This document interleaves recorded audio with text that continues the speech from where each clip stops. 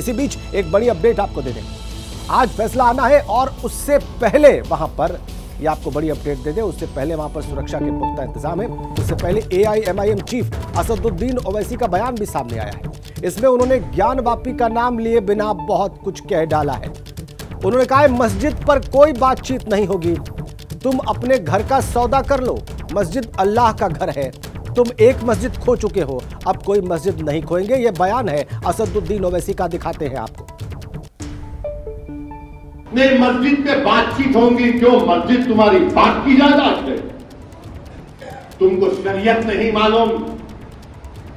तुमको कुछ नहीं मालूम, और बीजेपी ऐसे लोगों को तैयार कर रही जिनको ना शरीयत से कोई वास्ता, जिनको ना कुरान और सुन्नत से कोई वास्ता।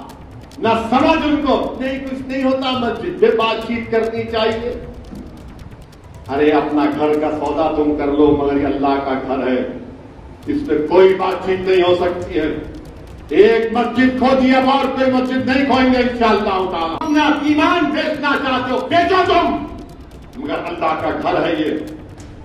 तुमको कोई हक नहीं दिया कि कोई किसी मस्जिद के बारे में बात कर सके।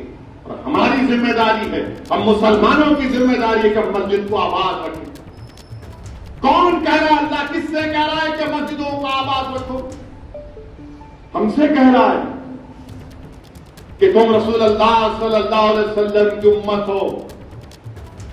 तुम अल्लाह पर यकीन करते कि अल्लाह तुम्हारा रब है, तुम आखिरत पर यकीन करने वाले हो और तुम किसी से नहीं डरते सिवा अल्लाह के।